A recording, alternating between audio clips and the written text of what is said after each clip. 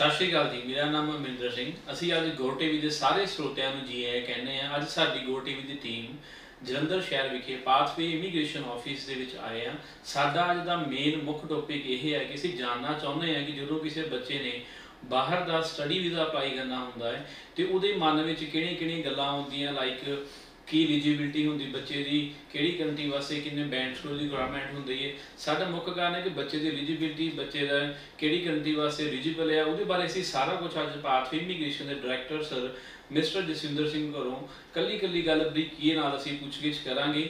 ਤੇ ਅਸੀਂ ਅੱਜ ਜਸਵਿੰਦਰ ਸਿੰਘ ਦਾ ਜੀ ਆਇਆਂ ਕਹਿੰਦੇ ਆ ਤੇ ਇਹਨਾਂ ਨੂੰ ਆਪਣੇ ਮੁੱਖ ਟੀਵੀ ਦੇ ਵਿੱਚ ਇਹ ਸਾਰੀ ਗੱਲਾਂ ਦੀਆਂ ਬਰੀਕੀਆਂ ਬਾਰੇ ਚਾਨਣਾ ਪਾਉਣਾ ਚਾਹਣ ਬਾਰੇ ਗੱਲ ਕਹਿੰਦੇ ਆ ਠੀਕ ਹੈ ਜੀ। ਸਤਿ ਸ਼੍ਰੀ ਅਕਾਲ ਜੀ। ਮੈਂ ਜਸਵਿੰਦਰ ਸਿੰਘ ਪਾਥਵੇ ਇਮੀਗ੍ਰੇਸ਼ਨ ਤੋਂ ਤੇ ਮੈਂ ਗੁੱਡ ਟੀਵੀ ਦੇ ਸਾਰੇ ਸਰੋਤਿਆਂ ਦਾ ਦਾ ਤਹਿ ਦਿਲੋਂ ਧੰਨਵਾਦ ਕਰਦਾ ਹਾਂ ਤੇ ਗੁੱਡ ਟੀਵੀ ਦੀ ਪੂਰੀ ਟੀਮ ਦਾ ਧੰਨਵਾਦ ਕਰਦਾ ਹਾਂ ਕਿ ਤੁਸੀਂ ਆਪਣੇ ਰਜੇਵੇਂ ਦੇ ਵਿੱਚੋਂ ਅੱਜ ਟਾਈਮ ਕੱਢਿਆ ਹੈ। ਤੇ ਹਾਂਜੀ ਸਰ, ਅੱਜ ਅੱਜ ਦਾ ਮੇਰਾ ਮੇਨ ਟੌਪਿਕ ਇਹ ਹੈ ਕਿ ਜਦੋਂ ਅਸੀਂ ਜਲੰਧਰ ਸ਼ਹਿਰ ਚ ਆਉਂਦੇ ਹਾਂ, ਸਾਨੂੰ ਬਹੁਤ ਸਾਰੇ ਇਮੀਗ੍ਰੇਸ਼ਨ ਆਫਿਸ ਮਿਲਣਗੇ। ਮੇਰੇ ਖਿਆਲ ਨਾਲ ਲਗਭਗ ਜੇ ਮੈਂ ਗੱਲ ਕਰਦਾ 1000 ਤੋਂ 1200 ਆਫਿਸ ਇੱਥੇ ਜਲੰਧਰ ਸ਼ਹਿਰ ਦੇ ਇੱਕ ਸਕੁਅਰ ਕਿਲੋਮੀਟਰ 'ਚ ਹੋਣਗੇ। ਬੱਚਾ ਕੋਈ ਉੱਪਰਲੇ ਸ਼ਹਿਰ ਤੋਂ ਆਉਂਦਾ ਕਿ ਕੰਫਿਊਜ਼ ਹੋ ਜਾਂਦਾ। ਜੇ ਮੰਨ ਲਓ ਕਿਸੇ ਬੱਚੇ ਨੇ 5-6 ਆਫਿਸ ਗਿਆ ਹਰ ਕਿਸੇ ਕੋ ਹਰ ਕਿਸੇ ਆਫਿਸ ਜਾ ਕੇ ਉਹਨੂੰ ਅਲੱਗ-ਅਲੱਗ ਗੱਲਾਂ ਸੁਣਨ ਨੂੰ ਮਿਲਦੀਆਂ ਕੋਈ ਕਹਿੰਦਾ 5.5 ਦੀ ਲੱਗ ਜਾਏਗਾ ਕੋਈ ਕਹਿੰਦਾ 5 ਬੈਂਡ ਦੀ ਲੱਗ ਜਾਏਗਾ ਕੋਈ ਕਹਿੰਦਾ 6 ਬੈਂਡ ਦੀ ਲੱਗ ਜਾਏਗਾ। ਅਸੀਂ ਅੱਜ ਇਸ ਟੌਪਿਕ ਤੇ ਵਿਚਾਰ ਕਰਾਂਗੇ ਕਿ ਕਿਹੜੀ ਕੰਟਰੀ ਵਾਈਜ਼ ਕਿੰਨੀ ਐਲੀਜੀਬਿਲਟੀ ਹੋਣੀ ਚਾਹੀਦੀ ਹੈ ਕਈ ਵਾਰੀ ਪੇਰੈਂਟਸ ਦਾ ਖਿਆਲ ਹੁੰਦਾ ਮਨ 'ਚ ਕਿ ਬੱਚੇ ਨੂੰ ਬਾਹਰ ਭੇਜਣਾ ਲੇਕਿਨ 10ਵੀਂ ਤੋਂ ਬਾਅਦ ਬੱਚਾ ਕੀ ਕਰੇ ਕਿਹੜੀ ਸਟਰੀਮ ਨੂੰ ਚੂਜ਼ ਕਰੇ ਕਮਰਸ ਰੱਖੇ ਨਾਨ ਮੈਡੀਕਲ ਰੱਖੇ ਆਰਟਸ ਰੱਖੇ, ਜੇ ਬੱਚਾ ਆਰਟਸ ਰੱਖਦਾ ਤੇ ਕਿਹੜੇ ਸਬਜੈਕਟ ਹੋਣੇ ਚਾਹੀਦੇ ਆ, ਕਿੰਨੀ ਪਰਸੈਂਟੇਜ ਹੋਣੀ ਚਾਹੀਦੀ ਹੈ, ਇਹਦੇ ਬਾਰੇ ਕੁਝ ਆਪਾਂ ਬਰੀਕੀ ਜਿਹੀ ਨਾਲ ਗੱਲ ਕਰਨਾ ਚਾਹੁੰਦੇ ਜੀ, ਸਭ ਤੋਂ ਪਹਿਲੀ ਗੱਲ ਕਿ ਦਫ਼ਤਰ ਤਾਂ ਬਹੁਤ ਸਾਰੇ ਨੇ, ਕੋਈ 5 ਬੈਂਡ ਤੇ ਅਪਲਾਈ ਕਰਵਾ ਦਿੰਦਾ, ਕੋਈ 5.5 ਬੈਂਡ ਤੇ ਅਪਲਾਈ ਕਰਵਾ ਦਿੰਦਾ ਆ।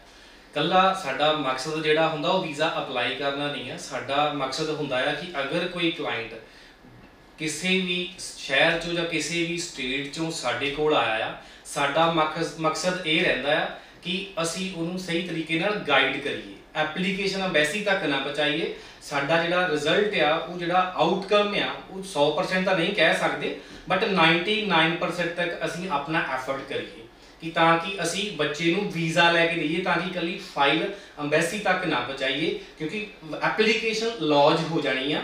ਬਟ ਵੀਜ਼ਾ ਆਉਣਾ, ਨਹੀਂ ਆਉਣਾ ਉਹ ਹਰੇਕ ਕੰਸਲਟੈਂਟ ਨੂੰ ਪਤਾ ਹੁੰਦਾ ਆ ਕਿ ਉਹਨੇ ਕਿਹੜੀ ਐਪਲੀਕੇਸ਼ਨ ਐਕਸੈਪਟ ਕਰਨੀ ਆ ਜਾਂ ਨਹੀਂ ਕਰਨੀ। ਔਰ ਹਰੇਕ ਏਜੰਟ ਦਾ ਇਹ ਬਿਜ਼ਨਸ ਆ ਕੰਸਲਟੈਂਟ ਲਈ ਇਹ ਬਿਜ਼ਨਸ ਆ, ਠੀਕ ਹੈ ਜੀ? ਔਰ ਸਭ ਤੋਂ ਪਹਿਲੀ ਗੱਲ ਕਲਾਇੰਟ ਨੂੰ ਸਟੂਡੈਂਟਸ ਨੂੰ ਆਪਣਾ ਕ੍ਰਾਈਟੇਰੀਆ ਜਿਹੜਾ ਆ, ਉਹ ਬੇਸਿਕ ਰਿਕੁਆਇਰਮੈਂਟਸ ਕਿਸੇ ਚਾਹੇ ਕੈਨੇਡਾ ਆ, ਚਾਹੇ ਆਸਟ੍ਰੇਲੀਆ ਆ, ਚਾਹੇ ਯੂਕੇ ਆ, ਚਾਹੇ ਯੂਐਸਏ ਆ, ਉਹਨੂੰ ਬੇਸਿਕ ਚੀਜ਼ਾਂ ਪਤਾ ਹੋਣੀਆਂ ਚਾਹੀਦੀਆਂ। ਠੀਕ ਹੈ ਜੀ। ਇੱਕ ਜਿਵੇਂ ਬੱਚੇ ਅੱਜ ਕੱਲ ਕਹਿ ਰਿਹਾ ਕਿ ਕੈਨੇਡਾ ਓਵਰਆਲ 6 2 ਚੋਂ 5.5 ਹੋਣ 3 ਚੋਂ 5.5 ਹੋਣ। ਬੱਚੇ ਦੀ eligibility SDS non SDS category ਚ ਬੰਦੀ ਵੀ ਕੀ ਇਹ ਗੱਲ ਸੱਚ ਹੈ ਕਿ ਗੱਲ ਝੂਠ ਹੈ ਜੀ? ਦੇਖੋ ਜੀ ਹਾਈ ਕਮਿਸ਼ਨ ਨੇ ਇੱਕ ਲੂਪ ਪੁਆਇੰਟ ਰੱਖ ਲਿਆ ਹੋਇਆ ਹੈ ਕਿ ਹਾਂ 6 ਓਵਰਆਲ ਬੈਂਡ ਬਟ ਤੁਸੀਂ ਆਪ ਸਿਆਣੇ ਹੋ, ਜਿਸ ਬੱਚੇ ਦੀ ਇੰਗਲਿਸ਼ ਜੋ ਪ੍ਰੋਫੀਸ਼ੀਐਂਸੀ ਟੈਸਟ ਆ, ਅਗਰ ਉਹਦੇ 2 ਚੋਂ 5.5 ਆ ਜਾਂ 3 ਚੋਂ 5.5 ਆ ਜਾਂ 1 ਚੋਂ 5 ਰਹਿ ਗਏ ਆ, ਤੁਸੀਂ ਆਪ ਸੋਚ ਸਕਦੇ ਹੋ ਕਿ ਹਾਈ ਕਮਿਸ਼ਨ ਨੇ ਉਸ ਬੱਚੇ ਨੂੰ ਪ੍ਰਾਇੋਰਟੀ ਦੇਣੀ ਆ ਕਿ ਜਿਹਦੇ ਇੱਕ ਚੋਂ 5.5 ਨੇ ਜਾਂ ਦੋਵਾਂ ਚੋਂ 5.5 ਨੇ? ਤਾਂ ਬੇਸਿਕਲੀ ਅਗਰ ਕੋਈ ਸਟੂਡੈਂਟ ਕੈਨੇਡਾ ਦਾ ਸਟੱਡੀ ਵੀਜ਼ਾ ਅਪਲਾਈ ਕਰਨਾ ਚਾਹੁੰਦਾ ਹੈ ਸ਼ਰਤ ਹੈ ਉਹਨੇ ਪਲੱਸ 2 ਜਿਹੜੀ ਹੈਗੀ ਔਨਵਰਡ ਘੱਟੋ ਘੱਟ 2019 ਜਾਂ 20 ਦੇ ਵਿੱਚ ਕੀਤੀ ਆ ਗੈਪ ਵੀ ਹੈ, ਉਹ ਗੈਪ ਨੂੰ ਉਹ ਜਸਟੀਫਾਈ ਕਰ ਸਕਦਾ ਆ। ਅਗਰ ਐਸਡੀਐਸ ਕੈਟਾਗਰੀ ਦੇ ਵਿੱਚ ਉਹ ਲੌਂਚ ਕਰਨਾ ਚਾਹੁੰਦਾ ਹੈ ਆਪਣੀ ਐਪਲੀਕੇਸ਼ਨ ਤੇ ਆਇਲਸ ਦੇ ਵਿੱਚੋਂ 6 ਓਵਰਆਲ ਤੇ 1 ਤੋਂ 5.5 ਬੈਂਡ ਉਹਦਾ ਅੱਜ ਦੇ ਸਮੇਂ ਦੇ ਵਿੱਚ ਜੋ ਰਿਜ਼ਲਟ ਆ ਰਿਹਾ ਆ ਉਹ 70 ਤੋਂ 80% ਵੀਜ਼ਾ ਆ ਰਿਹਾ ਆ। ਅਗਰ ਕੋਈ 100 ਐਪਲੀਕੇਸ਼ਨ ਲੌਂਚ ਕਰਦਾ ਪਿਆ ਆ ਤੇ 60 ਤੋਂ 70 ਜਾਂ 80 ਵੀਜ਼ਾਸ ਆ ਰਹੇ ਨੇ 20% ਫੇਰ ਵੀ ਰਿਫਿਊਜ਼ਲ ਹੈਗੀ ਆ। ਅਗਰ ਤੁਸੀਂ ਉਸੇ ਚੀਜ਼ ਨੂੰ ਅਗਰ ਤੁਹਾਡੀ ਪਲੱਸ 2 ਰੀਸੈਂਟਲੀ ਆ ਗੈਪ ਨਹੀਂ ਪਿਆ ਤਾਂ ਤੁਸੀਂ ਕੋਸ਼ਿਸ਼ ਕਰੋ ਕਿ 6 ਈਚ ਕਰੋ। 6 ਈਚ ਕਰਨ ਤੋਂ ਬਾਅਦ ਤੁਹਾਡਾ ਵੀਜ਼ਾ ਚਾਂਸ ਜੋ ਸਕਸੈਸ ਰੇਟ ਆ ਉਹ 95% ਤੋਂ ਲੈ ਕੇ 99% ਹੋ ਜਾਏਗਾ। ਤੁਹਾਨੂੰ ਰਿਫਿਊਜ਼ਲ ਦਾ ਮੂੰਹ ਨਹੀਂ ਦੇਖਣਾ ਪਏਗਾ ਔਰ ਤੁਹਾਡੇ ਪੈਸੇ ਦਾ ਨੁਕਸਾਨ ਨਹੀਂ ਹੋਏਗਾ। ਠੀਕ ਹੈ ਜੀ। ਔਰ ਪੀਟੀ ਦੇ ਵਿੱਚੋਂ ਓਵਰਆਲ 60 ਸਕੋਰ ਨੇ ਈਚ ਚਾਹੇ ਉਹਦੇ 50 ਨੇ ਚਾਹੇ 51 ਨੇ ਬਟ ਓਵਰਆਲ 60 ਨੇ ਦੈਨ ਉਹ ਵੀ ਐਸਡੀਐਸ ਕੈਟਾਗਰੀ ਦੇ ਅੰਡਰ ਐਪਲੀਕੇਸ਼ਨ ਲਾਂਚ ਹੋ ਰਹੀ ਆ। ਰਾਈਟ ਨਾਓ ਜੋ 10 ਅਗਸਤ ਤੋਂ ਬਾਅਦ ਨਵੇਂ ਰੂਲਸ ਅਪਡੇਟ ਹੋਏ।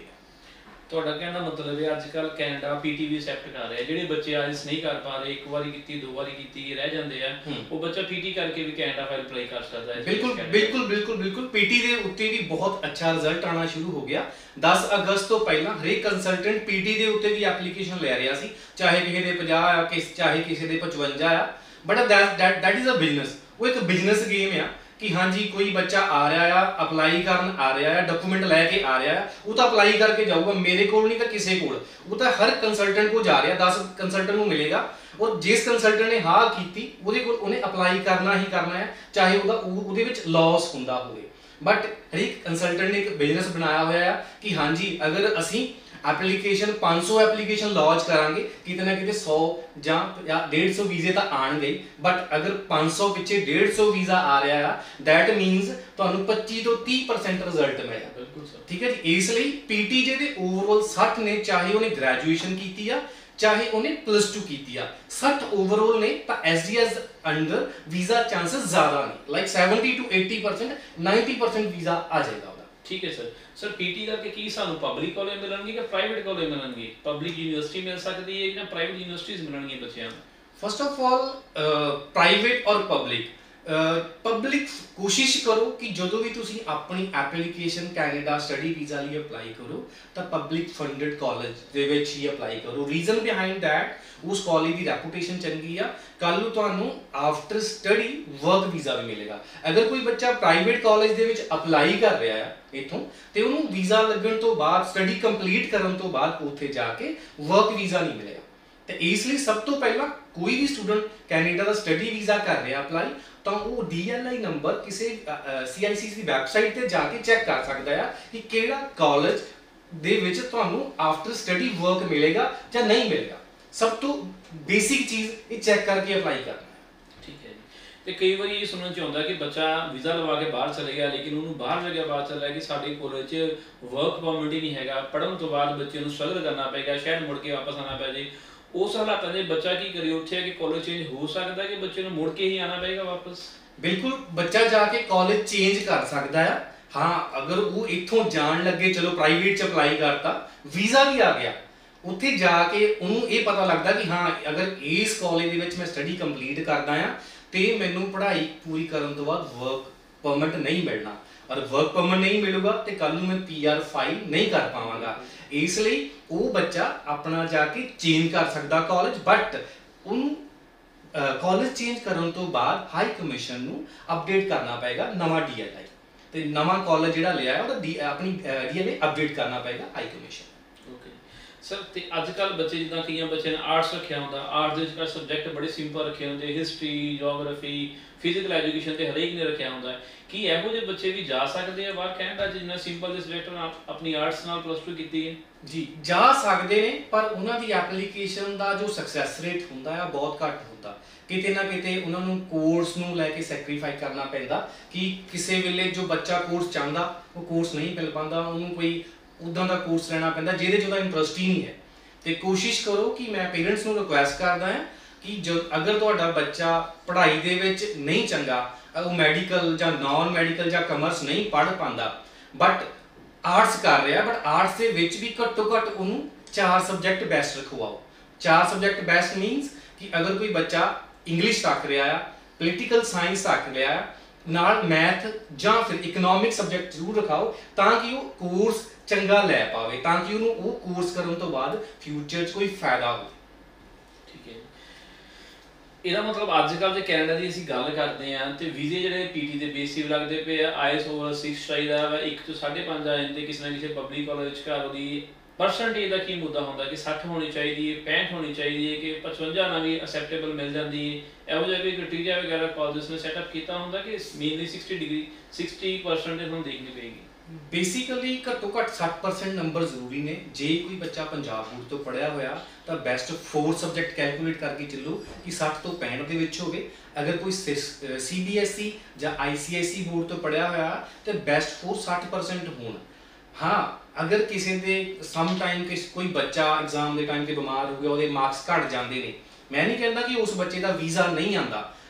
ਕੋਈ ਕਾਫੀ ਸਾਰੇ ਕਾਲਜਸ ਨੇ ਜੋ ਓਵਰਆਲ 55% ਤੱਕ ਲੈ ਲੈਂਦੇ ਨੇ ਬਟ ਉਹਦੇ ਵਿੱਚ ਇਹ ਸਮਝ ਲਓ ਕਿ ਬੱਚੇ ਨੇ ਨਾਨ ਮੈਡੀਕਲ ਕੀਤਾ ਉਹਦੇ ਮੈਥ ਦੇ ਵਿੱਚੋਂ 33 ਨੇ ਦੈਨ ਉਹ ਦਿੱਕਤ ਆਏਗੀ ਉਹਨੂੰ ਵੀਜ਼ਾ ਲੈਣ ਦੇ ਵਿੱਚ ਕਿਉਂਕਿ ਬਹੁਤ ਸਾਰੇ ਕੋਰਸਸ ਨੇ ਜਿਹਦੇ ਵਿੱਚ ਮੈਥ ਰਿਕੁਆਇਰਡ ਆ।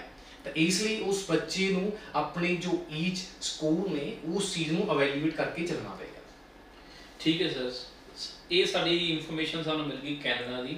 ਅੱਜ ਕੱਲ੍ਹ ਸਰ ਮਾਰਕੀਟ 'ਚ ਬਹੁਤ ਜ਼ਿਆਦਾ ਰਿਊਮਰ ਹੈ ਕਿ ਆਸਟ੍ਰੇਲੀਆ ਦੀ ਅਸੀਂ ਗੱਲ ਕਰਦੇ ਹਾਂ ਆਸਟ੍ਰੇਲੀਆ ਨੇ ਪੰਜਾਬ ਤੋਂ ਬੱਚੇ ਰਹਿਣੇ ਬੰਦ ਕਰ ਦਿੱਤੇ ਆ ਲਾਈਕ ਸਟੇਟ ਬੋਰਡ ਨਹੀਂ ਲੈ ਰਹੇ ਜਾਂ ਆਸਟ੍ਰੇਲੀਆ ਦੇ ਵੀਜ਼ੇ ਨਹੀਂ ਆ ਰਹੇ, ਕਿ ਇਹੋ ਜੀ ਗੱਲ ਸੱਚ ਹੈ ਕਿ ਲੋਕਾਂ ਦੇ ਬਣਾਈ ਹੋਈਆਂ ਮਿੱਥ ਗੱਲਾਂ ਹੈ ਜੀ?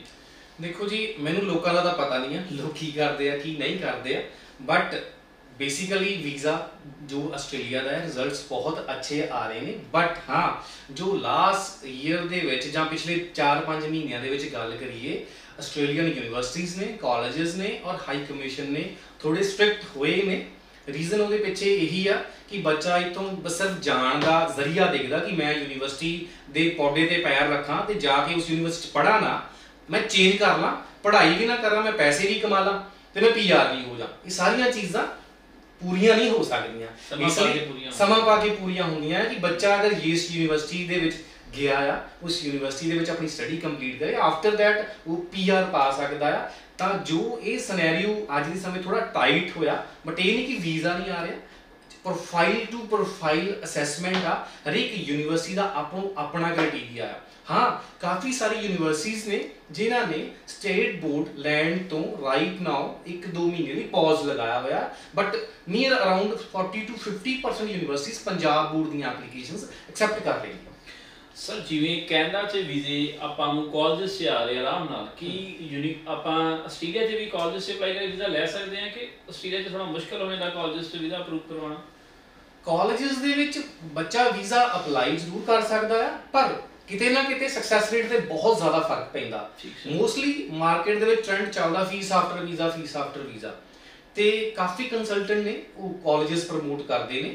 ਤੇ ਮੈਂ ਨਹੀਂ ਕਹਿੰਦਾ ਕਿ ਵੀਜ਼ਾ ਨਹੀਂ ਆਉਂਦਾ ਕਾਲਜਸ ਦੇ ਵਿੱਚ ਬਟ ਉੱਥੇ ਸਕਸੈਸ ਰੇਟ 40 ਤੋਂ 50% ਰਹਿ ਜਾਂਦਾ ਹੈ। ਅਗਰ ਕੋਈ ਸੀਬੀਐਸਈ ਵਾਲਾ ਬੱਚਾ ਹੈ 7 ਬੈਂਡ ਨੇ ਕਮਰਸ ਪਾਸ ਆ ਉਹਦੇ 70 ਤੋਂ 80% ਨੰਬਰ ਨੇ ਤਾਂ ਬਹੁਤ ਵੱਡੀ ਬੇਕੂਫੀ ਆ ਕਿ ਉਹ ਕਿਸੇ ਕਾਲਜ ਅਪਲਾਈ ਕਰ ਰਿਹਾ। ਤਾਂ ਇਸ ਲਈ like application to application but college ਦੇ ਵਿੱਚ ਵੀਜ਼ਾ ਸਕਸੈਸ ਰੇਟ ਬਹੁਤ ਘੱਟ ਆ। ਅਪਲਾਈ ਜ਼ਰੂਰ ਕਰ ਸਕਦੇ ਆ ਬਟ ਵੀਜ਼ਾ ਆਣਾ ਨਹੀਂ ਆਉਣਾ ਦੈਟ ਇਜ਼ ਅ ਲੱਕ ਤੁਹਾਡੇ ਕਹਿਣ ਦਾ ਮਤਲਬ ਜੇ ਬੱਚਾ ਸਾਡਾ ਯੂਨੀਵਰਸਿਟੀ ਵਾਸਤੇ ਐਲੀਜੀਬਲ ਤਾਂ ਅਸੀਂ ਯੂਨੀਵਰਸਿਟੀ ਹੀ ਅਪਲਾਈ ਕਰੀਏ ਕਾਲਜ ਨੂੰ ਉਹਨੂੰ ਪ੍ਰੈਫਰੈਂਸ ਨਾ ਦਈਏ ਬਿਕੋਜ਼ 50% ਦਾ ਮਾਰਜਨ ਰਿਸਕ ਹੈ 50% ਦਾ ਵੀਜ਼ਾ ਉਹਦੇ ਹੁੰਦਾ ਭਾਜੀ ਮਸਲਾ ਪਤਾ ਕੀ ਅੱਜ ਦੇ ਸਮੇਂ ਦੇ ਵਿੱਚ? ਅੱਜ ਦੇ ਸਮੇਂ ਦੇ ਵਿੱਚ ਨਾ ਸਬਰ ਨਹੀਂ ਹੈਗਾ। ਸਬਰ ਇਨ ਦਾ ਸੈਂਸ ਕਿ ਬੱਚਾ ਆਂਦਾ ਬੱਚੇ ਦੇ ਪੇਰੈਂਟਸ ਵੀ ਕਹਿੰਦੇ ਵੀ ਤੁਰਕੀ ਦੇ ਨਾਲ ਮਹੀਨੇ ਡੇਢ ਮਹੀਨੇ ਚ ਸਾਡੀ ਐਮਬੈਸੀ ਚ ਫਾਈਲ ਆਵੇ ਠੀਕ ਹੈ ਜੀ ਵੀਜ਼ਾ ਆਵੇ ਜਾਏ ਨਾ ਆਵੇ ਪਰ ਐਮਬੈਸੀ ਤੱਕ ਫਾਈਲ ਪਹੁੰਚ ਜਾਵੇ। ਲੋਕੀ ਉਸ ਚੀਜ਼ ਪਿੱਛੇ ਸਕਸੈਸ ਰੇਟ ਨਹੀਂ ਦੇਖਦੇ ਕਿ ਅਗਰ ਕੋਈ ਚੀਜ਼ ਸਬਰ ਕਰਕੇ ਮਿਲਦੀ ਨਾ ਦੈਟ ਮੀਨਸ ਉਹ ਮਿੱਠੀ ਆ। ਵੀ ਉਹਦਾ ਜਿਹੜਾ ਸਕਸੈਸ ਰੇਟ ਯੂਨੀਵਰਸਿਟੀ ਚ ਅਗਰ ਕੋਈ ਯੂਨੀਵਰਸਿਟੀ ਕੁਐਸਚਨ ਕਰ ਰਹੀ ਹੈ ਨਾ ਜਾਂ ਯੂਨੀਵਰਸਿਟੀ ਜੀਟੀ ਚੈੱਕ ਕਰ ਰਹੀ ਆ ਯੂਨੀਵਰਸਿਟੀ ਇੰਟਰਵਿਊ ਕਰ ਰਹੀ ਹੈ ਨਾ ਉਹ ਆਪਣੇ ਲਈ ਨਹੀਂ ਕਰ ਰਹੀ। ਉਹ ਤੁਹਾਡੇ ਭਲੇ ਲਈ ਕਰ ਰਹੀ ਹੈ ਕਿ ਕੱਲ ਨੂੰ ਹਾਈ ਕਮਿਸ਼ਨ ਤੁਹਾਡੇ ਪ੍ਰੋਫਾਈਲ ਨੂੰ ਰਿਫਿਊਜ਼ ਨਾ ਕਰ ਪਾਵੇ। ਅਗਰ ਰਿਫਿਊਜ਼ ਹੋ ਗਏ ਤਾਂ ਨਾ ਨਾ ਕਰਦੇ ਲੱਖ ਡੇਢ ਲੱਖ ਰੁਪਏ ਦਾ ਨੁਕਸਾਨ ਹੋ ਜਾਣਾ। ਇਸ ਲਈ ਯੂਨੀਵਰਸਿਟੀ ਕੈਟਾਗਰੀ ਚ ਅਪਲਾਈ ਕਰੋ ਸਬਰ ਲੈ ਕੇ ਚੱਲੋ ਤੇ ਪ੍ਰੋਸੈਸਿੰਗ ਆ ਇੱਕ ਆਫਰ ਲੈਟਰ ਨੂੰ ਵਿਦਿਨ 3 ਟੂ 4 ਵੀਕਸ ਲੱਗਦੇ ਆ। ਕੁਝ ਯੂਨੀਵਰਸਿਟੀਜ਼ ਨੇ 15 ਦਿਨਾਂ ਚ ਵੀ ਆਫਰ ਲੈਟਰ ਦੇ ਦਿੰਦੇ ਆਫਟਰ ਦੈਟ ਜੀਟੀ ਦਾ ਪ੍ਰੋਸੈਸਿੰਗ ਆ। 10 ਤੋਂ 25 ਦਿਨ 30 ਦਿਨ ਦਾ ਜੀਟੀ ਦਾ ਪ੍ਰੋਸੈਸ ਆ। ਹਰ ਯੂਨੀਵਰਸਿਟੀ ਦਾ ਵੈਰੀ ਕਰਦਾ। ਦੈਨ ਵੀਜ਼ਾ ਆਫੀਸਰ ਆ ਉਹ ਅੱਜ ਦੇ ਸਮੇਂ ਦੇ ਵਿੱਚ 10 ਟੂ 15 ਡੇਜ਼ ਦੇ ਅੰਦਰ ਰਿਜ਼ਲਟ ਦੇ ਰਿਹਾ। ਮਤਲਬ ਅਗਰ ਤੁਸੀਂ ਵੀਜ਼ਾ ਲੈਣਾ ਅਗਰ ਤੁਹਾਡਾ ਪ੍ਰੋਫਾਈਲ ਚੰਗਾ ਹੈ ਦੈਨ ਤੁਹਾਨੂੰ ਯੂਨੀਵਰਸਿਟੀ ਕੈਟਾਗਰੀ ਚ ਅਪਲਾਈ ਕਰੋ। ਕੋਰਸ ਸਿਲੈਕਸ਼ਨ ਸਹੀ ਕਰੋ। ਤਾਂ ਹੀ ਕਿਹਾ ਜਾਂਦਾ ਜੀ ਸਹਿਜ ਪਗੇ ਸੋ ਮਿੱਠਾ ਮਿੱਠਾ ਹੋਵੇ ਬਿਲਕੁਲ। ਠੀਕ ਹੈ। ਸਰ, ਇੱਕ ਮੇਰਾ ਕੁਐਸਚਨ ਹੋਰ ਹੈ, ਜਿੱਦਾਂ ਅਸੀਂ ਕੈਨੇਡਾ ਦੇ ਵਿਚਕਾਰ ਬੱਚਿਆਂ ਨੇ ਮੈਡੀਕਲ ਰੱਖਿਆ ਹੁੰਦਾ ਮੈਡੀਕਲ 'ਚ ਬਹੁਤੇ ਕਾਲਜਾਂ 'ਚ ਅਸੀਂ ਅਪਲਾਈ ਕਰਦੇ ਆ ਉਹ 'ਚ ਮੈਥਮੈਟਿਕਸ ਮੰਗਿਆ ਜਾਂਦਾ ਕਿ ਮੈਥਮੈਟਿਕਸ ਹੋਵੇ ਇੰਨੇ ਪਰਸੈਂਟ 'ਚ ਚਾਹੇ ਐਡੀਸ਼ਨ ਰੱਖਿਆ ਹੋਵੇ, ਕੀ ਇਹੋ ਜਿਹੀ ਕੰਡੀਸ਼ਨ ਆਸਟ੍ਰੇਲੀਆ 'ਚ ਵੀ ਹੈ, ਬੱਚੇ ਨਰਸਿੰਗ ਦੇ ਕੋਰਸ ਲੈਣੇ ਆ ਜਾਂ ਕੋਈ ਵੀ ਸਾਇੰਸ ਰਿਲੇਟਡ ਕੋਰਸ ਲੈਣੇ ਆ, ਕਿ ਉਹਨੇ ਐਡੀਸ਼ਨਲ ਮੈਥ ਰੱਖਿਆ ਹੋਣਾ ਚਾਹੀਦਾ ਕਿ ਇਹੋ ਜਿਹੀ ਕੰਡੀਸ਼ਨ ਯੂਨੀਵਰਸਿਟੀਜ਼ ਰੱਖਦੀਆਂ ਆਸਟ੍ਰੇਲੀਆ ਦੇ ਵਿੱਚ? ਬਿਲਕੁਲ ਰੱਖਦੀਆਂ ਜੀ ਬਟ ਲਾਈਕ ਘੱਟੋ ਘੱਟ 25 ਤੋਂ 30% ਯੂਨੀਵਰਸਿਟੀਜ਼ ਨੇ ਜਿਨ੍ਹਾਂ ਦੇ ਵਿੱਚ ਅਗਰ ਤੁਸੀਂ ਨਰਸਿੰਗ ਕਰਨ ਜਾਣੀ ਆ ਜਾਂ ਕੋਈ ਪਬਲਿਕ ਹੈਲਥ ਦਾ ਕੋਰਸ ਕਰਨਾ ਆ ਜਾਂ ਹੈਲਥ ਵਰਕਰ ਦੇ ਰਿਲੇਟਡ ਕੋਈ ਕੋਰਸ ਆ, ਤਾਂ ਮੈਥ ਦੀ ਰਿਕੁਆਇਰਮੈਂਟ ਹੁੰਦੀ ਆ। ਕੁਝ ਕੁਝ ਯੂਨੀਵਰਸਿਟੀਜ਼ ਨੇ ਆਈਟੀ ਦੇ ਵਿੱਚ ਵੀ ਮੈਥ ਮੰਗਦੀਆਂ ਨੇ। ਲਾਈਕ ਅਗਰ ਤੁਸੀਂ ਆਰਐਮਆਈਟੀ ਯੂਨੀਵਰਸਿਟੀ ਦੇ ਵਿੱਚ bachelor of IT artificial intelligence ਜਾਂ ਕੰਪਿਊਟਰ ਸਾਇੰਸ ਦਾ ਕੋਰਸ ਕਰਨ ਜਾਣਾ ਆ, ਤੁਸੀਂ ਨਾਨ ਮੈਡੀਕਲ ਪੜ੍ਹੇ ਆ, ਤੁਹਾਡੇ ਮੈਥ ਦੇ ਵਿੱਚ 65% ਨੰਬਰ ਹੋਣੇ ਚਾਹੀਦੇ, ਤਾਂ ਤੁਹਾਨੂੰ ਉਹ ਕੋਰਸ ਮਿਲਣਾ। ਅਦਰਵਾਈਜ਼ ਫਿਰ ਤੁਹਾਨੂੰ ਉਹਨੇ ਮੈਥ ਦਾ ਫਾਊਂਡੇਸ਼ਨ ਪੜਾਉਣਾ ਫਾਊਂਡੇਸ਼ਨ ਕੋਰਸ ਦੇਣਗੇ ਤਾਂ ਕਿ ਤੁਹਾਨੂੰ ਕ੍ਰਾਈਟੇਰੀਆ ਮੀਟ ਕਰਾਣ ਕਰਾ ਪਾਣ। ਹਾਂ ਕੁਝ ਕੋਰਸਸ ਔਰ ਕੁਝ ਯੂਨੀਵਰਸਿਟੀਆਂ ਨੇ ਜਿਨ੍ਹਾਂ ਦੇ ਵਿੱਚ ਮੈਥ ਦੀ ਰਿਕੁਆਇਰਮੈਂਟ ਨਰਸਿੰਗ ਔਰ ਕੁਝ ਆਈਟੀ ਦੇ ਕੋਰਸਸ ਦੇ ਵਿੱਚ ਹੁੰਦੀ ਹੈ ਸਰ, ਆਸਟ੍ਰੇਲੀਆ ਜਿੱਦਾਂ ਪਹਿਲੇ ਲਾਸਟ ਅਸੀਂ ਗੱਲ ਕਰਦੇ ਆ ਕਿ ਜਿੱਦਾਂ ਅੱਜ ਤੋਂ ਪੁਰਾਣੀਆਂ ਇੰਟੇਕਾਂ ਜਿਹੜੀਆਂ ਨਵੀਆਂ ਚੱਲਦੀਆਂ ਪਈਆਂ, ਪਹਿਲੇ ਇੱਕ ਟਰਮ ਹੁੰਦੀ ਸੀ ਕਿ ਆਫਰ ਲੈਟਰ ਆਉਣ ਤੋਂ ਬਾਅਦ ਜੀਐਸਟੀ ਦਾ ਇੱਕ ਕ੍ਰਾਈਟੇਰੀਆ ਬੱਚੇ ਨੂੰ ਕਲੀਅਰ ਕਰਨਾ ਪੈਂਦਾ ਸੀ ਕਿ ਰਾਈਟ ਨਾਓ ਵੀ ਆਸਟ੍ਰੇਲੀਆ ਐਮਬੈਸੀਜ਼ ਜਾਂ ਹਾਇਰ ਕਮਿਸ਼ਨ ਜਾਂ ਯੂਨੀਵਰਸਿਟੀਜ਼ ਜੀਏਟੀ ਜੀਐਸਟੀ ਦੀ ਕੰਡੀਸ਼ਨ ਰੱਖਦੇ ਪਏ ਕਿ ਕੋਈ ਨਵੀਂ ਚੀਜ਼ ਜੀਐਸਟੀ ਇਨਕਲੂਡ ਕਰ ਦਿੱਤੀ ਗਈ ਕਿ ਬਿਕੋਜ਼ ਮਾਰਕੀਟ 'ਚ ਰਿਊਮਰ ਬਹੁਤ ਹੈ ਆਸਟ੍ਰੇਲੀਆ ਦਾ ਜੀਐਸਟੀ ਪ੍ਰੋਸੈਸ ਜੀਟੀਈ ਪ੍ਰੋਸੈਸ ਖਤਮ ਹੋ ਗਿਆ ਹੈ, ਇੱਕ ਨਵਾਂ ਰੂਲ ਲੈ ਕੇ ਆਣਗੇ ਜੀਐਸਟੀ ਉਹ ਖਰੇ ਟੈਸਟ ਲੈਣਗੇ ਬੱਚਿਆਂ ਦਾ, ਬੱਚੇ ਕਲੀਅਰ ਨਹੀਂ ਹੋਣਾ, ਬੱਚਿਆਂ ਨੂੰ ਤਾਂ ਹੀ ਕਰਕੇ ਬਹੁਤੇ ਬੱਚਿਆਂ ਨੇ ਆਸਟ੍ਰੇਲੀਆ ਦਾ ਮੂੰਹ ਫੇਰ ਲਿਆ ਜੀ ਜੀਐਸਟੀ ਖਰੇ ਹੋਣਾ ਕਿ ਨਹੀਂ ਹੋਣਾ, ਮਸਾਂ ਤੇ ਪੀਟੀਆਈਸ ਕਰਦੇ ਆ, ਮੁੜ ਕੇ ਜੀਟੀ 'ਚ ਫੇਰ ਟੈਸਟ ਦੇਣਾ ਪੈਣਾ ਬੱਚੇ ਅੱਜ ਕੱਲ ਪ੍ਰੈਫਰੈਂਸ ਨਹੀਂ ਕਰ ਰਹੇ ਕਿ ਇਹ ਗੱਲਾਂ ਸੱਚ ਹੈ ਕਿ ਰਿਊਮਰ ਹੈ ਜੀ ਮਾਰਕੀਟ ਵਿੱਚ? ਰਾਈਟ ਨਾਓ ਇਦਾਂ ਦਾ ਕੋਈ ਖਾਸ ਚੇਂਜਸ ਨਹੀਂ ਹੋਏ। ਜਸਟ ਵੀਜ਼ਾ ਐਪਲੀਕੇਸ਼ਨ ਦੇ ਵਿੱਚ ਇੱਕ, ਜਦੋਂ ਤੁਸੀਂ ਵੀਜ਼ਾ ਲਾਂਚ ਕਰਦੇ ਹੋ, ਇੱਕ ਕੁਐਸਚਨ ਚੇਂਜ ਹੋਇਆ ਹੈ ਕਿ ਤੁਹਾਡਾ ਪੜ੍ਹਾਈ ਕਰਕੇ ਗਾਂ ਫਿਊਚਰ ਦੇ ਵਿੱਚ ਪਲਾਨ ਕੀ ਆ? ਦੈਟਸ ਇਟ ਕਿ ਤੁਸੀਂ ਆਪਣੀ ਹੋਮ ਕੰਟਰੀ ਵਾਪਸ ਆਓਗੇ ਜਾਂ ਨਹੀਂ ਆਓਗੇ? ਜੀਐਸਟੀ ਕੁਝ ਨਹੀਂ ਹੈਗਾ। ਹਾਂ ਗਰੰਟ ਜੈਨੂਨ ਸਟੂਡੈਂਟ ਟੈਸਟ ਆ। ਵੈਸੇ ਇਹਦੀ ਫੁੱਲ ਫਾਰਮ ਬਟ ਇਹਦੇ ਵਿੱਚ, ਹਾਂ ਡਿਪੈਂਡ ਕਰਦਾ ਯੂਨੀਵਰਸਿਟੀਜ਼ ਹਰ ਯੂਨੀਵਰਸਿਟੀਜ਼ ਨੇ ਹੁਣ ਇੰਟਰਵਿਊ ਲੈਣੀ ਸਟਾਰਟ ਕਰ ਦਿੱਤੀ ਹੈ। ਇੱਕ ਬੇਸਿਕ ਜੀ ਇੰਟਰਵਿਊ ਆ ਕਿ ਤੁਸੀਂ ਕੀ ਕੀਤਾ ਆ, ਕੀ ਕਰਨ ਜਾ ਰਹੇ ਹੋ, ਤੁਹਾਨੂੰ ਫਾਈਨੈਂਸ਼ੀਅਲੀ ਕੌਣ ਸਪੋਰਟ ਕਰ ਰਿਹਾ ਹੈ ਔਰ ਇਹ ਕੋਰਸ ਕਰਨ ਤੋਂ ਬਾਅਦ ਤੁਹਾਨੂੰ ਫਾਇਦਾ ਕੀ ਆ? ਇਹ ਕੋਰਸ ਤੁਸੀਂ ਇੰਡੀਆ 'ਚ ਵੀ ਤਾਂ ਕਰ ਸਕਦੇ ਸੀ, ਤੁਸੀਂ ਆਸਟ੍ਰੇਲੀਆ 'ਚ ਹੀ ਕਿਉਂ ਕਰਨ ਆ ਰਹੇ ਦੈਟਸ ਇਟ ਹੋਰ ਕੋਈ ਖਾਸ ਚੇਂਜਸ ਨਹੀਂ ਹੈਗੀ, ਕੋਈ ਵਰੀ ਕਰਨ ਦੀ ਲੋੜ ਨਹੀਂ, ਬਹੁਤ ਸੋਹਣੇ ਰਿਜ਼ਲਟਸ ਆ ਰਹੇ ਆਸਟ੍ਰੇਲੀਆ ਦੇ। ਮਤਲਬ ਕਿ ਜਿਹੜੀਆਂ ਹੁਣ ਤੁਹਾਡੀਆਂ ਰਾਈਟ ਨਾਓ ਆਫਰ ਲੈਟਰਸ ਆ ਰਹੀਆਂ ਫੈਬ 24 ਇਨਟੇਕ ਦੀਆਂ ਉੱਥੇ ਜੀਟੀਈ ਦੀ ਕੰਡੀਸ਼ਨ ਹੈ ਜੀਐਸਟੀ ਦੀ ਜੀਐਸਟੀ ਦੀ ਕੋਈ ਇਦਾਂ ਦੀ ਕੋਈ ਕੋਈ ਕੋਈ ਇਦਾਂ ਦੀਆਂ ਚੇਂਜਸ ਨਹੀਂ ਹੈਗੀਆਂ ਕੋਈ ਖਾਸ ਚੇਂਜਸ ਨਹੀਂ ਆ। ਸੇਮ ਹਾਂ ਯੂਨੀਵਰਸਿਟੀਜ਼ ਨੇ ਥੋੜਾ ਜਿਹਾ ਸਟ੍ਰਿਕਟ ਹੋ ਗਏ ਨੇ ਰੀਜ਼ਨ ਬਿਹਾਈਂਡ ਉਹਦੇ ਉਹਦੇ ਪਿੱਛੇ ਇਹੀ ਹੈਗਾ ਕਿ ਬੱਚਾ ਆ ਕੇ ਪੜ੍ਹੇ ਉਹ ਜੈਨੂਨ ਸਟੂਡੈਂਟ ਨੂੰ ਇਨਵਾਈਟ ਕਰ ਰਹੇ ਨੇ। ਜਿਹੜੇ ਸਟੂਡੈਂਟ ਦੇ ਦਿਮਾਗ ਦੇ ਵਿੱਚ ਇਹ ਹੈਗਾ ਨਾ ਕਿ ਮੈਂ ਇੱਥੋਂ ਜਾਵਾਂਗਾ ਜਾਂਦੇ ਹੋਰ ਕਿਸੇ ਕਾਲਜ ਦੀ ਸੀਓ ਲੈ ਲਾਂਗਾ ਉਹ ਚੀਜ਼ਾਂ ਨਹੀਂ ਹੋਣੀਆਂ। ਉਹ ਚੀਜ਼ਾਂ ਬਿਲਕੁਲ ਹੀ ਖਤਮ ਕਰਨਾ ਚਾਹੁੰਦੇ ਨੇ। ਇਥੋਂ ਬੱਚਾ ਪਲਾਨ ਕਰਕੇ ਚੱਲੇ ਕਿ ਹਾਂ, ਮੈਂ ਅਗਰ ਜਾਣਾ ਆ, ਪਹਿਲਾਂ ਹੀ ਕੋਰਸ ਸਹੀ ਸਿਲੈਕਟ ਕਰਕੇ ਜਾਵੇ ਤਾਂ ਕਿ ਉਹਨੂੰ ਬਾਅਦ ਵਿੱਚ ਉੱਥੇ ਜਾ ਕੇ ਚੇਂਜ ਕਰਨ ਦੀ ਜ਼ਰੂਰਤ ਨਾ ਪਵੇ। ਠੀਕ ਹੈ ਸਰ। ਤੇ ਜਿਹੜੇ ਬੱਚੇ ਇੱਥੇ ਆਪਣੇ 10 ਪਲੱਸ 2 ਬਾਈ ਪਾਸ ਆਊਟ ਹੈ ਕਿ ਉਹਨਾਂ ਵਾਸਤੇ ਰਾਈਟ ਨਾਓ ਆਸਟ੍ਰੇਲੀਆ ਦੇ ਵਿੱਚ ਕਰ ਫੈਬ 24 ਵਾਸਤੇ ਵੀ ਆਪਸ਼ਨਸ ਹੈਗੀਆਂ ਕਿ ਲਾਈਕ ਜੇ ਕੋਈ ਗੈਪ ਐਕਟੀਵਿਟੀ ਦਿਖਾ ਕੇ ਫੁੱਲਫਿਲ ਕਰ ਸਕਣ? ਕਿ ਉਹਨਾਂ ਵਾਸਤੇ ਰਾਈਟ ਨਾਓ ਆਸਟ੍ਰੇਲੀਆ ਦੇ ਦਰਵਾਜ਼ੇ ਬੰਦ ਕਰ ਦਿੱਤੇ ਹੋਏ ਆਸਟ੍ਰੇਲੀਆ ਹਾਈ ਕਮਿਸ਼ਨ ਵੀਜ਼ਾ ਦੇ ਰਹੀ ਆ ਬਟ ਡਿਪੈਂਡ ਯੂਨੀਵਰਸਿਟੀ ਤੇ ਆ ਬਟ ਕਿਸ ਕਾਈਂਡ ਆਫ ਦੀ ਉਹਦੇ ਕੋਲ ਐਕਟੀਵਿਟੀ ਆ। ਅਗਰ ਕੋਈ ਸਟੂਡੈਂਟ ਨੇ ਪਲੱਸ 2 ਕਰ ਲਈ ਪਲੱਸ 2 ਦੇ ਵਿੱਚੋਂ ਨੰਬਰ ਵੀ ਚੰਗੇ ਆ ਬੈਂਡ ਵੀ 6.5 7 ਆ ਦੈਨ ਉਸ ਬੱਚੇ ਨੇ ਇੱਥੇ ਸਟੱਡੀ ਸ਼ੁਰੂ ਕਰ ਲਈ। ਗ੍ਰੈਜੂਏਸ਼ਨ ਦੇ ਵਿੱਚ ਐਡਮਿਸ਼ਨ ਲੈ ਲਈ ਸੀ, ਉਹਨੇ 1 ਸਾਲ ਕੰਪਲੀਟ ਕੀਤਾ। ਦੈਨ ਹਾਂ ਕੁਝ ਯੂਨੀਵਰਸਿਟੀਆਂ ਨੇ ਐਕਸੈਪਟ ਕਰ ਰਹੀਆਂ ਨੇ ਐਪਲੀਕੇਸ਼ਨ ਬਟ ਬਹੁਤ ਜ਼ਿਆਦਾ ਨੰਬਰ 'ਚ ਨਹੀਂ ਐਕਸੈਪਟ ਕਰ ਰਹੇ ਬੇਸਿਕਲੀ ਕਿਉਂਕਿ ਵੀਜ਼ਾ ਸਕਸੈਸ ਰੇਟ ਆ ਕਿ ਅਗਰ ਤੁਹਾਡੇ ਕੋਲ ਜੈਨੂਨ ਐਕਟੀਵਿਟੀ ਹੈਗੀ ਆ ਆਫਟਰ ਪਲੱਸ 2 ਦੈਨ ਤੁਸੀਂ ਅਪਲਾਈ ਕਰ ਸਕਦੇ ਆ ਅਦਰਵਾਇਜ਼ ਕਿਸੇ ਵੇਲੇ ਕੋਈ ਲੋਕ ਕਹਿੰਦੇ ਕਿ ਪਲੱਸ 2 ਤੋਂ ਬਾਅਦ ਡਿਪਲੋਮਾ ਬਣਾ ਲਾਂਗੇ ਨਹੀਂ ਇਦਾਂ ਦੀਆਂ ਚੀਜ਼ਾਂ ਐਕਸੈਪਟੇਬਲ ਨਹੀਂ ਹੈ ਤੇ ਅੱਜ ਕੱਲ ਹਰੇਕ university sir GT time interview ਲੈ ਰਹੀ ਹੈ ਉਹ ਇੰਟਰਵਿਊ ਟੈਲੀਫੋਨਿਕ ਹੋ ਰਹੀ ਹੈ ਜਾਂ ਕਿ ਲਾਈਕ ਕੋਈ ਚੈਨਲ ਤੇ ਹੋ ਰਹੀ ਲਾਈਕ ਆਪਾਂ ਗੱਲ ਕਰਦੇ ਜ਼ੂਮ ਤੇ ਜਾਂ ਸਕਾਈਪ ਤੇ ਇੰਟਰਵਿਊ ਆ ਰਹੀ ਹੈ ਕਿ ਜਾਂ ਬੱਚਿਆਂ ਦੀ ਲਾਈਕ ਜਿੱਦਾਂ ਕੋਈ ਬੱਚਾ ਪੀਟੀ ਕਰਦਾ ਹੈ ਤੇ artificial intelligence through like computer based interview ਹੁੰਦੀ ਕਿ ਹਰੇਕ ਯੂਨੀਵਰਸਿਟੀ ਕਿਸ ਕਿਸ ਤਰੀਕੇ ਨਾਲ ਇੰਟਰਵਿਊ ਲੈਂਦੀ ਪਈ ਹੈ? ਬੇਸਿਕਲੀ ਤਿੰਨ ਫਾਰਮੈਟ ਨੇ ਯੂਨੀਵਰਸਿਟੀ ਦੇ ਇੰਟਰਵਿਊ ਕਰਨ ਦੇ। ਵਨ ਇਜ਼ ਟੈਲੀਫੋਨਿਕ ਕਨਵਰਜੇਸ਼ਨ ਕਿ ਫੋਨ ਤੇ ਇੰਟਰਵਿਊ ਕਰਦੇ ਨੇ। ਸੈਕੰਡ ਹੈਗਾ ਕਿ ਸਕਾਈਪ ਇੰਟਰਵਿਊ ਕਿ ਫੇਸ ਟੂ ਫੇਸ ਚਾਹੇ ਜ਼ੂਮ ਚਾਹੇ ਲਾਈਕ ਯੂਨੀਵਰਸਿਟੀ ਦਾ ਸਾਈਕ ਸਕਾਈਪ ਉਹਦੇ ਉੱਤੇ ਇੰਟਰਵਿਊ ਕਾਲ ਹੁੰਦੀ ਆ।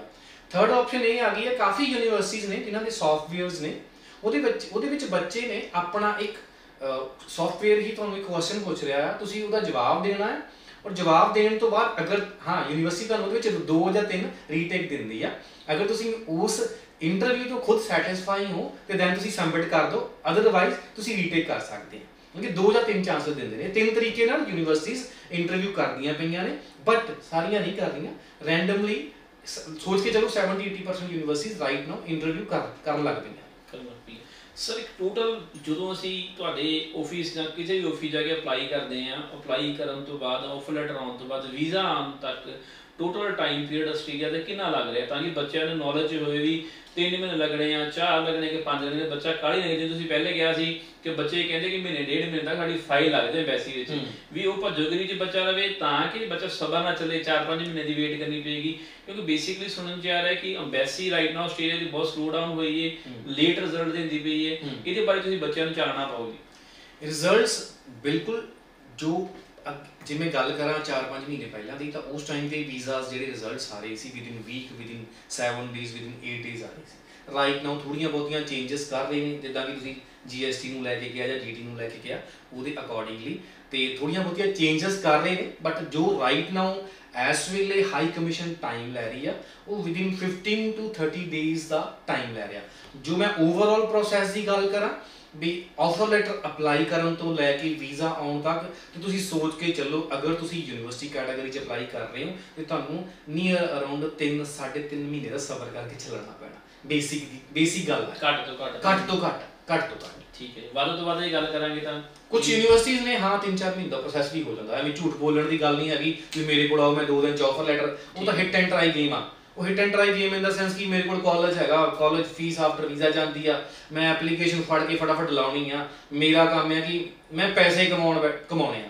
ਬਹੁਤ ਸਾਰੇ ਕੰਸਲਟੈਂਟ ਦਾ ਫੋਕਸ ਇਹੀ ਰਹਿੰਦਾ ਆ ਕਿ ਪੈਸੇ ਕਮਾਉਣੇ ਆ ਕਿੱਦਾਂ ਕਮਾਉਣੇ ਆ। ਮਤਲਬ ਕਿ ਵੈਸੀ ਫਾਈਲ ਲਾ ਦਿਓ। ਵੈਸੀ ਫਾਈਲ ਲਾ ਦਿਓ। ਆਉਂਦਾ ਤਾਂ ਠੀਕ ਹੈ, 100 ਨਹੀਂ ਆਉਂਦਾ ਤਾਂ ਫਾਈਲ ਠੀਕ ਜੇ। ਮਹੀਨੇ ਚ ਲੱਗੂਗੀ ਤਾਂ 20 20 25 ਵੀਜ਼ੇ ਤਾਂ ਆਉਣਗੇ। ਉਹਨਾਂ ਨੂੰ 70 ਪ੍ਰੋਫਾਈਲ ਦੇ ਰਿਫਿਊਜ਼ ਹੋਣ ਕੋਈ ਕੋਈ ਨੁਕਸਾਨ ਨਹੀਂ ਹੁੰਦਾ ਉਹਨਾਂ ਨੂੰ। ਬਟ ਸਟੂਡੈਂਟ ਦਾ ਬਹੁਤ ਵੱਡਾ ਨੁਕਸਾਨ ਹੁੰਦਾ ਕਿਉਂਕਿ ਜਦੋਂ ਆਸਟ੍ਰੇਲੀਆ ਇੱਕ ਵਾਰੀ ਐਪਲੀਕੇਸ਼ਨ ਰਿਫਿਊਜ਼ ਹੁੰਦੀ ਨਾ ਤਾਂ second time application offer letter ਲੈਣੀ ਜੀਟੀ ਕਲੀਅਰ ਕਰਨਾ ਬਹੁਤ ਟਫ ਹੈ। ਤੁਹਾਡਾ ਕਹਿਣ ਮਤਲਬ ਜਿਵੇਂ ਕੈਨੇਡਾ ਚ ਬੱਚਾ ਆਰਾਮ ਨਾਲ second time third time apply ਕਰ ਲੈਂਦਾ ਇਹ ਸਭ ਕੁਝ ਆਸਟ੍ਰੇਲੀਆ 'ਚ ਨਹੀਂ ਹੁੰਦਾ। ਨਹੀਂ ਪੋਸੀਬਲ ਹੁੰਦਾ। ਬਹੁਤ ਸਟ੍ਰਿਕਟ ਨੇ ਯੂਨੀਵਰਸਿਟੀਜ਼ ਤਾਂ ਯੂਨੀਵਰਸਿਟੀਜ਼ ਨੂੰ ਸਾਰਾ ਜਦੋਂ ਐਪਲੀਕੇਸ਼ਨ ਫਾਰਮ ਜਾਂਦਾ ਹਰ ਚੀਜ਼ ਡਿਕਲੇਅਰ ਕਰਨੀ ਪੈਂਦੀ ਹੈ ਕਿ ਹਾਂ ਮੈਂ previously Australia study visa apply ਕੀਤਾ ਸੀ ਰਿਫਿਊਜ਼ ਆ ਕਿ ਨਹੀਂ ਰਿਫਿਊਜ਼ ਅਗਰ ਤੁਸੀਂ ਯੈਸ ਕਰ ਦਿੰਦੇ ਹੋ ਤੇ ਲਾਈਕ ਉੱਥੇ ਫਿਰ ਯੂਨੀਵਰਸਿਟੀ ਦਾ ਜਿਹਦੀ ਕ੍ਰਾਈਟੇਰੀਆ ਨਹੀਂ ਤੁਸੀਂ ਮੀਟ ਕਰਦੇ ਪਏ। ਇਸ ਲਈ ਬਹੁਤ ਸੋਚ ਸਮਝ ਕੇ ਅਪਲਾਈ ਕਰੋ। ਠੀਕ ਸਰ ਸਰ ਮੇਰਾ ਲਾਸਟ ਕੁਐਸਚਨ ਹੋਏਗਾ ਆਸਟ੍ਰੇਲੀਆ ਨੂੰ ਲੈ ਕੇ ਕਿ ਰਾਈਟ ਨਾਓ ਜਿੱਦਾਂ ਗ੍ਰੈਜੂਏਟ ਸਟੂਡੈਂਟਸ ਹੈਗੇ ਆਪਣੇ ਹੂੰ। ਚਾਹੇ ਉਹ 22 ਜਾਂ 23 ਪਹਿਲੇ ਵਾਰ ਰੀਸੈਂਟ ਦੀ ਗੱਲ ਕਰਦੇ ਕਿ 23 ਪਾਸ ਆਊਟ ਵਾਲਿਆਂ ਨੂੰ ਵੀ ਆਪਣਾ ਕੋਈ ਐਕਸਪੀਰੀਅੰਸ ਦਿਖਾਉਣ ਦੀ ਲੋੜ ਆ। ਜੇ ਦਿਖਾਉਣਾ ਪੈਣਾ ਤੇ 22 ਜਾਂ 21 ਉਹਨਾਂ ਨੂੰ ਦਿਖਾਉਣਾ ਪੈਣਾ 23 ਵਿਦਆਊਟ ਐਕਸਪੀਰੀਅੰਸ ਵੀ ਚੱਲ ਜਾਏਗਾ ਬਿਕੋਜ਼ ਜੁਲਾਈ ਜਾਂ ਅਗਸਤ 'ਚ ਰਿਜ਼ਲਟ ਆਇਆ ਬੱਚੇ ਦਾ ਫਿਰ ਬੱਚੇ ਨੇ ਟਾਈਮ ਲਾਇਆ ਐਸਐਮਪੀਟੀ ਕਰਨ ਨੂੰ। ਤੇ ਉਹਨੂੰ ਮਿਲਦੀ ਪਈ ਹੈ ਫੈਬ ਇਨਟੇਕ। ਕਿ 23 ਪਾਸ ਆਊਟ ਬੱਚਿਆਂ ਨੂੰ ਐਕਸਪੀਰੀਅੰਸ ਦਿਖਾਉਣ ਦੀ ਲੋੜ ਹੈ ਕਿ ਜਿਹੜੀ ਉਸ ਤੋਂ ਪਿਛਲੇ ਪਾਸ ਆਊਟ ਸਟੂਡੈਂਟ ਉਹ ਦਿਖਾਣਾ ਪੈਣਾ ਐਕਸਪੀਰੀਅੰਸ ਦੇਖੋ ਜੀ ਰਾਈਟ ਨਾਓ ਜੋ ਕਰੰਟ ਗ੍ਰੈਜੂਏਟ ਨੇ ਜਿਨ੍ਹਾਂ ਨੇ ਗ੍ਰੈਜੂਏਸ਼ਨ 2023 ਚ ਪਾਸ ਆਊਟ ਕੀਤੀ ਆ ਉਹਨਾਂ ਨੂੰ ਕੋਈ ਵਰਕ ਐਕਸਪੀਰੀਅੰਸ ਜਾਂ ਕੁਝ ਵੀ ਐਕਸਪੀਰੀਅੰਸ ਦਿਖਾਉਣ ਦੀ ਜ਼ਰੂਰਤ ਨਹੀਂ ਹੈਗੀ ਠੀਕ ਹੈ ਜੀ ਹਾਂ ਕਿਸੇ ਨੇ ਸਮਝ ਲਓ ਇੱਕ ਟੈਕਨੀਕਲੀ ਅਗਰ ਕੋਈ ਬੱਚਾ ਬੀਕਾਮ ਕਰ ਰਿਹਾ ਤੇ ਹਾਂ, ਉਹ ਆਪਣੀ ਆਇਲਸ ਕਰੇ, ਨਾਲ ਦੀ ਨਾਲ ਕਿਸੇ ਅਕਾਊਂਟੈਂਟਸ ਕੋ ਐਜ਼ ਅ ਟ੍ਰੇਨਿੰਗ ਕਰ ਦੇ। ਉਹਦੇ ਵਿੱਚ ਐਜ਼ ਅ ਟ੍ਰੇਨਿੰਗ ਦੀ ਲੈਟਰ ਬਣਵਾ ਲੈ। ਠੀਕ ਹੈ ਜੀ? ਹਾਂ ਜੀ ਜੈਨੂਅਲੀ ਇਹ ਚੀਜ਼ਾਂ ਲ- ਲਗਾ ਸਕਦੇ ਆ ਬਟ 23 ਪਾਸ ਆਊਟ ਲਈ ਕੋਈ ਦਿੱਕਤ ਨਹੀਂ। ਹਾਂ, ਕਿਸੇ ਨੇ 22 ਦੇ ਵਿੱਚ ਕੀਤੀ ਆ, ਕਿਸੇ ਨੇ 21 ਦੇ ਵਿੱਚ ਕੀਤੀ ਆ, ਕਿਸੇ ਨੇ 20 ਦੇ ਵਿੱਚ ਕੀਤੀ ਆ ਯੈਸ ਇਟਸ ਕੰਪਲਸਰੀ ਕਿ ਤੁਹਾਨੂੰ ਆਪਣਾ ਗੈਪ ਐਕਟੀਵਿਟੀ ਦੇਣਾ ਪੈਣਾ ਆ, ਅਗਰ ਵੀਜ਼ਾ ਲੈਣਾ ਤਾਂ। ਜੈਨੂਨ ਗੈਪ ਐਕਟੀਵਿਟੀ ਚਾਹੀਦੀ ਹੈ, ਇਹ ਨਹੀਂ ਕਿ ਵੀ ਐਵੇਂ ਕੇ ਕਿਸੇ ਦਾ ਪੇਪਰ ਬਣਾ ਲਓ ਨੇ ਕਿਉਂਕਿ ਗੈਪ ਐਕਟੀਵਿਟੀ ਵੀ ਮੇਬੀ ਯੂਨੀਵਰਸਿਟੀ ਵੈਰੀਫਾਈ ਕਰ ਯੂਨੀਵਰਸਿਟੀ। ਵੈਰੀ ਯੂਨੀਵਰਸਿਟੀ ਵੈਰੀਫਾਈ ਕਰਦੀ ਹੈ ਅਗਰ ਤੁਸੀਂ ਕੋਈ ਵੀ ਡਾਕੂਮੈਂਟਸ ਅੱਜ ਦੇ ਸਮੇਂ ਦੇ ਚਾਹੇ ਉਹ ਵਰਕ ਐਕਸਪੀਰੀਅੰਸ ਹੈ ਕੁਝ ਵੀ ਇੱਥੋਂ ਤੱਕ ਕਿ ਅਕੈਡਮਿਕਸ ਨੂੰ ਵੈਰੀਫਾਈ ਕਰਦੇ ਨੇ ਤੁਹਾਡੇ ਤੋਂ ਲਿੰਕ ਮੰਗਦੇ ਨੇ ਕਿ ਕੇਸ ਲਿੰਕ ਦੇ ਉੱਤੇ ਵੈਰੀਫਾਈ ਹੁੰਦਾ ਜਿੱਥੇ ਵੈਰੀਫਾਈ ਨਹੀਂ ਹੁੰਦਾ ਡਾਕੂਮੈਂਟ ਉਹ ਫਿਰ ਆਫੀਸ਼ੀਅਲ ਟ੍ਰਾਂਸਕ੍ਰਿਪਟ ਦੀ ਰਿਕੁਐਸਟ ਕਰਦੇ ਆ ਯੂਨੀਵਰਸਿਟੀ ਵਾਲੇ ਬੱਚੇ ਤੋਂ ਕਿ ਤੁਸੀਂ ਸਾਨੂੰ ਜਾਂ ਡਾਇਰੈਕਟਲੀ ਈਮੇਲ ਕਰਵਾਓ ਸਾਡੀ ਆਫੀਸ਼ੀਅਲ ਈਮੇਲ ਆਈਡੀ ਤੇ ਇੰਸਟੀਚਿਊਟ ਜਾਂ ਯੂਨੀਵਰਸਿਟੀ ਦੀ ਆਫੀਸ਼ੀਅਲ ਈਮੇਲ ਆਈਡੀ ਤੋਂ ਜਾਂ ਜਾਂ ਸਾਨੂੰ sealed and well transcript courier ਕਰਵਾਓ। ਸੋ ਪੀਟੀ ਤੇ ਜਾਂ ਆਈਜ਼ ਦੀ ਬੈਂਡ ਰਿਕੁਆਇਰਮੈਂਟ ਪਲੱਸ 2 ਵਾਲੇ ਬੱਚਿਆਂ ਲਈ ਕੀ ਹੋ ਸਕਦੀ ਹੈ ਤੇ ਜੇ ਬੱਚਾ ਗ੍ਰੈਜੂਏਟ ਹੈ ਉਹਦੇ ਵਾਸਤੇ ਪੀਟੀ ਜਾਂ ਆਈਜ਼ ਦੀ ਬੈਂਡ ਰਿਕੁਆਇਰਮੈਂਟ ਕੀ ਹੋ ਸਕਦੀ ਹੈ ਉਹਦੇ ਬਾਰੇ ਸਰ ਦੱਸੋ। ਅਗਰ ਤਾਂ ਮੈਂ ਗੱਲ ਕਰਾਂ ਯੂਜੀ ਕੋਰਸਸ ਦੇ ਵਿੱਚ ਜਿਸ ਬੱਚੇ ਨੇ ਪਲੱਸ 2 ਕੀਤੀ ਹੈ ਰੀਸੈਂਟਲੀ ਜ਼ਿਆਦਾਤਰ 50% ਯੂਨੀਵਰਸਿਟੀਜ਼ ਨੇ ਜੋ ਕਿ ਕਹਿ ਰਹੀਆਂ ਨੇ ਕਿ 60 ਈਚ 6 ਈਚ ਚਾਹੀਦੇ ਨੇ। ਠੀਕ ਹੈ ਜੀ ਕੁਝ ਯੂਨੀਵਰਸਿਟੀਜ਼ ਨੇ ਕੀ ਕਹਿੰਦੀ ਕਿ ਰੀਡਿੰਗ ਰਾਈਟਿੰਗ ਸਾਨੂੰ 6 ਚਾਹੀਦੇ ਆ। ਅਗਰ ਅਦਰ ਦੇ ਵਿੱਚੋਂ ਇੱਕ ਅੱਧੇ ਚੋਂ 5.5 ਨੇ ਤਾਂ ਅਸੀਂ ਐਕਸੈਪਟ ਕਰ ਲਾਂਗੇ। ਯੂਨੀਵਰਸਿਟੀ ਟੂ ਯੂਨੀਵਰਸਿਟੀ ਵੈਰੀ ਕਰਦੇ ਆ। But minimum 6 overall 5.5 each bands required ਨੇ ਫॉर ਅੰਡਰ ਗ੍ਰੈਜੂਏਟ ਕੋਰਸਸ ਵਾਸਤੇ ਆਫਟਰ ਪਲੱਸ 2 ਅਗਰ ਕੋਈ ਪੋਸਟ ਗ੍ਰੈਜੂਏਸ਼ਨ ਕਰਨ ਜਾ ਰਿਹਾ ਆਸਟ੍ਰੇਲੀਆ ਦੇ ਵਿੱਚ ਉਹਨੇ ਇੱਥੇ ਹੀ ਆਪਣੀ ਗ੍ਰੈਜੂਏਸ਼ਨ ਕੰਪਲੀਟ ਕੀਤੀ ਹੋਈ ਆ ਔਰ ਮਾਸਟਰਸ ਡਿਗਰੀ ਕਰਨ ਜਾ ਰਿਹਾ ਆ ਤੇ ਦੈਨ ਉਹਦੇ ਵਿੱਚ ਉਸ ਸਟੂਡੈਂਟ ਨੂੰ ਲਾਈਕ 80% ਯੂਨੀਵਰਸਿਟੀਜ਼ ਨੇ ਜਿਨ੍ਹਾਂ ਦੀ ਰਿਕੁਆਇਰਮੈਂਟ ਆਇਲਸ ਦੇ ਵਿੱਚੋਂ 6.5 ਨਾਟ ਲੈਸ ਦੈਨ 6 ਪੀਟੀ ਦੇ ਵਿੱਚੋਂ 58 ਨਾਟ ਲੈਸ ਦੈਨ 50 ਹਾਂ ਕੁਝ ਯੂਨੀਵਰਸਿਟੀਜ਼ ਨੇ ਜੋ ਕਿ ਓਵਰਆਲ 50 ਔਰ ਨਾਟ ਲੈਸ ਦੈਨ 50 ਤੇ ਮਾਸਟਰਸ ਦੇ ਵਿੱਚ ਐਡਮਿਸ਼ਨ ਦੇ ਰਹੀਆਂ ਨੇ ਔਰ ਵੀਜ਼ਾ ਵੀ ਆ ਰਿਹਾ। ਕੋਈ ਦਿੱਕਤ ਵਾਲੀ ਗੱਲ ਨਹੀਂ ਉਸ ਬੱਚੇ ਦੀ। ਸਰ ਕੀ ਆਸਟ੍ਰੇਲੀਆ ਦੀ ਯੂਨੀਵਰਸਿਟੀ ਐਮਓ ਐਕਸੈਪਟ ਕਰਦੀ ਹੈ ਗ੍ਰੈਜੂਏਟ ਸਟੂਡੈਂਟਸ ਦੇ ਲਈ? ਰਾਈਟ ਨਾਓ ਅੱਜ ਦੇ ਦੌਰ ਦੇ ਵਿੱਚ? ਅੱਜ ਦੇ ਸਮੇਂ ਦੇ ਵਿੱਚ ਰਾਈਟ ਨਾਓ ਥੋੜਾ ਸਟ੍ਰਿਕਟ ਨੇ ਐਮਓਆਈਜ਼ ਨੂੰ ਲੈ ਕੇ ਬਿਕੋਜ਼ ਆਫ ਹਾਂ ਲਾਸਟ ਈਅਰ ਕਾਫੀ ਬੱਚੇ ਅਸੀਂ ਐਮਓਆਈਜ਼ ਤੇ ਭੇਜੇ ਸੀ ਕੁਝ ਯੂਨੀਵਰਸਿਟੀਜ਼ ਨੇ ਸੀ ਕਿ ਜੇ ਤੁਸੀਂ ਇੰਗਲਿਸ਼ ਮੀਡੀਅਮ ਪੜ੍ਹੇ ਹੋਏ ਹੋ ਗ੍ਰੈਜੂਏਸ਼ਨ ਰੀਸੈਂਟਲੀ 21 ਦੇ ਵਿੱਚ ਕੀਤੀ ਹੋਈ ਆ ਤਾਂ ਦੈਨ ਹਾਂ ਦੇ are accept they was expect uh, accepting application in english waiver but uh, ਉਹ ਵੇਵਰ ਦੇ ਵਿੱਚ ਦਿੱਕਤ ਆ ਰਹੀ ਹੈ ਕਿਉਂਕਿ ਯੂਨੀਵਰਸਿਟੀਜ਼ ਐਕਸੈਪਟ ਨਹੀਂ ਕਰ ਰਹੀ ਇਸ ਲਈ ਆਈਐਸਪੀਟੀ ਕਰੂਗਾ ਜ਼ਿਆਦਾ ਵਧੀਆ ਹੈ। ਜਿਵੇਂ ਕਿ ਅੱਜ ਦੇ ਸਮੇਂ ਦੇ ਵਿਚਕਾਰ ਬਹੁਤ ਘੱਟ ਯੂਨੀਵਰਸਿਟੀਆਂ ਬੱਚੀਆਂ ਜਿਹੜੀਆਂ ਪੰਜਾਬ ਦੇ ਬੱਚਿਆਂ ਨੂੰ ਐਡਮਿਟ ਕਰਦੀਆਂ ਬੇਸਿਕਲੀ ਸਟੇਟ ਬੋਰਡ ਦੀ ਗੱਲ ਕਰਦੇ ਹਾਂ ਜੇ ਮੰਨ ਲਓ ਕਿ ਬੱਚਾ ਆਪਣੇ ਕੋਲ ਐਲੀਜੀਬਲ ਹੈ ਸਟੇਟ ਬੋਰਡ ਵਾਲਾ ਕਿ ਉਹਨੂੰ ਵੀ ਸਕਾਲਰਸ਼ਿਪ ਯੂਨੀਵਰਸਿਟੀਜ਼ ਪ੍ਰੋਵਾਈਡ ਕਰਦੀ ਵੀ ਜਿਵੇਂ ਸੀਬੀਐਸਈ ਜਾਂ ਆਈਸੀਐਸਈ ਬੋਰਡ ਵਾਲੇ ਬੱਚਿਆਂ ਨੂੰ ਪ੍ਰੋਵਾਈਡ ਹੋ ਰਹੀਆਂ ਤੇ ਕੀ ਸਲੈਬ ਕੀ ਹੁੰਦੀ ਹੈ 15% ਮਿਲਦੀ ਹੈ 20% 25% ਦਾ ਕ੍ਰਾਈਟੇਰੀਆ ਕੀ ਹੋਣਾ ਚਾਹੀਦਾ ਹੈ ਕਿ ਬੱਚੇ ਦੀ ਪਰਸੈਂਟੇਜ 60 ਹੋਵੇ 70 ਹੋਵੇ 80 ਹੋਵੇ ਕੀ ਇਹੋ ਜਿਹਾ ਬੱਚਿਆਂ ਨੂੰ ਥੋੜਾ ਵੀਰਵਾ ਦੱਸ ਸਕਦੇ ਹੋ? ਜੀ ਬਿਲਕੁਲ ਬਿਲਕੁਲ ਸਕਾਲਰਸ਼ਿਪ ਮਿਲਦੀ ਜੀ ਇਹ ਕੋਈ ਡਿਪੈਂਡ ਨਹੀਂ ਕਰਦਾ ਕਿ ਬੱਚਾ ਸੀਬੀਐਸਈ ਪੜਿਆ ਜਾਂ ਆਈਸੀਐਸਈ ਪੜਿਆ ਹਾਂ ਬੱਚੇ ਦੀ ਪਰਸੈਂਟੇਜ ਮੈਟਰ ਕਰਦੀ ਆ ਉਸ ਚੀਜ਼ ਦੇ ਉੱਤੇ। ਅਗਰ ਬੱਚਾ ਅਬਵ ਦੈਨ 85 ਬੈਸਟ ਫੋਰ ਹੈਗੇ ਆ ਤਾਂ ਯੂਨੀਵਰਸਿਟੀ ਉਹਨੂੰ 15% ਤੋਂ ਲੈ ਕੇ 30% ਤੱਕ ਦੀ ਸਕਾਲਰਸ਼ਿਪ ਦਿੰਦੀ ਹੈ। ਰਾਈਟ ਨਾਓ ਮਿਲ ਰਹੀ ਹੈ ਸਕਾਲਰਸ਼ਿਪ ਕੋਈ ਦਿੱਕਤ ਵਾਲੀ ਗੱਲ ਚਾਹੇ ਬਹੁਤ ਸਾਰੇ ਬਹੁਤ ਸਾਰੇ ਏਜੰਟ ਬੱਚੇ ਨੂੰ ਇਹੀ ਕਹਿੰਦੇ ਸਾਡੇ ਕੋਲ ਆਓ ਜੀ ਤੁਹਾਨੂੰ ਅਸੀਂ 50% ਸਕਾਲਰਸ਼ਿਪ ਦਵਾਵਾਂਗੇ ਜੀ ਫਲਾਣਾ ਕਾਲਜ ਕਰਾਂਗੇ ਜੀ 60% ਦਵਾ ਦਾਂਗੇ ਉਹ ਫਲੱਡ ਲਾ ਕੇ ਆਏਗੀ। ਉਹ ਸਾਰੀਆਂ ਗੱਲਾਂ ਨੂੰ ਕਿ ਟਕਵਾਉਂਦੇ ਹੁੰਦਾ ਕਿ ਬੱਚੇ ਕੋ ਆਪਣੇ ਕੋ ਪਸੰਦ ਆ। ਫਸਟ ਆਫ ਆਲ ਇਸ ਕੀ ਹੈ ਉਹਦੇ ਵਿੱਚ ਕੀ ਹੁੰਦਾ ਮਕਸਦ ਹੁੰਦਾ ਕਿ ਬੱਚਾ ਪਹਿਲਾਂ ਤਾਂ ਐਨਰੋਲ ਕਰ ਲਈਏ। ਠੀਕ ਹੈ ਠੀਕ ਹੈ ਜੀ ਬੱਚੇ ਨੂੰ ਆਫਰ ਲੈਟਰ ਅਪਲਾਈ ਕਰ ਦਿਓ ਪਰ ਆਫਰ ਲੈਟਰ ਆਣੀ ਨਹੀਂ ਆਉਣੀ ਫਿਰ ਘੁੰਮ ਘੁਮਾ ਕੇ ਜੋ ਬੱਚਾ ਖੱਜਲ ਹੋ ਜਾਂਦਾ ਜੀ ਕਾਲਜ ਚ ਅਪਲਾਈ ਕਰ ਲਓ।